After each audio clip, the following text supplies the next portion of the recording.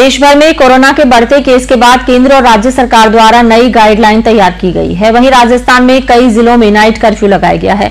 बाड़मेर में भी मुख्यमंत्री द्वारा वीसी के ज़रिए दिए निर्देशों के बाद जिला प्रशासन और पुलिस द्वारा रात्रि नौ बजे बाज़ार बंद करवाए जा रहे हैं। पुलिस की गाड़ियों के काफिले ने शहर भर में घूमकर दुकानें बंद करवाते नज़र आए। पुलिस द्वारा कई आवश्यक सेवाओं की दुकानों को छोड़कर शेष सभी दुकानें बंद करवाई जा रही हैं। कोरोना की दूसरी लहर को देखते हुए प्रदेश की गहलोत सरकार ने कोरोना संक्रमण की रोकथाम के लिए एक बार फिर सख्ती के रुख अख्तियार कर लिए हैं। राज्य सरकार के निर्देश पर प्रदेश के कई जिलों में रात्रिकालीन कर्फ्यू घोषित कर दिया गया है। वहीं मुख्यमंत्री गहलोत ने जिला कलेक्टर्स और संबंधित उपखंड अधिकारियों को कोरोना संक्रमण की रोकथाम के लिए सख्ती से पेश आने के जारी निर्देश किए हैं। बाड़मेर में विभिन्न इलाकों से सामने आने वाले कोरोना रोगियों और राज्य सरकार से मिले आदेशों की पालना में बाड़मेर जिला कलेक्टर विश्राम मीणा ने भी आदेश जारी कर बाड़मेर शहर के बाजारों को रात 9 बजते ही बंद करने के आदेश जारी किया है। वहीं मेडिकल एडवाइजरी की पालना नहीं करने और नियमों को ताक में रखने वाले प्रतिष्ठान संचालकों और दुकानदारों के खिलाफ नियमानुसार कार्रवाई करने की भी बात कही है।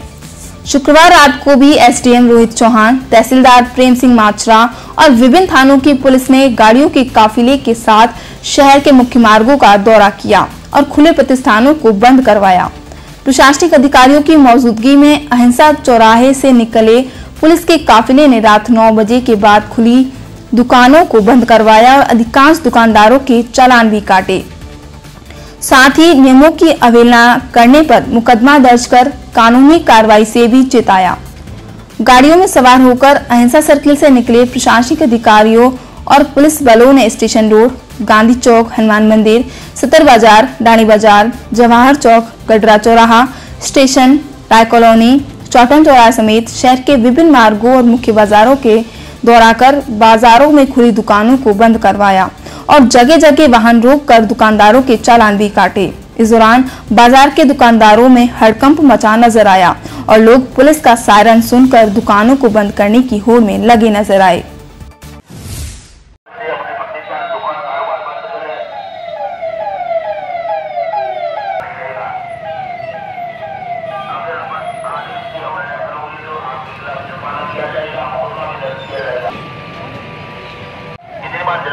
महोदय बारमेर द्वारा आदेशित किया गया है।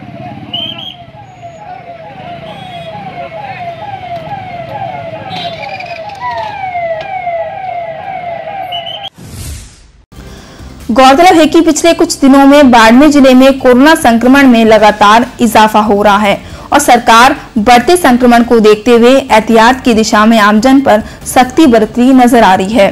प्रशासन व पुलिस के काफिले ने बंद करवाने के साथ लोगों को घरों में रहने की हिदायत दी।